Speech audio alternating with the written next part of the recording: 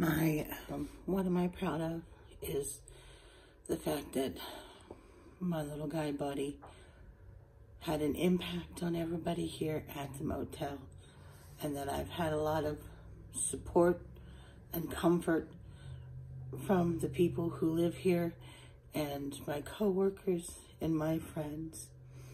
Bubba was a good soul.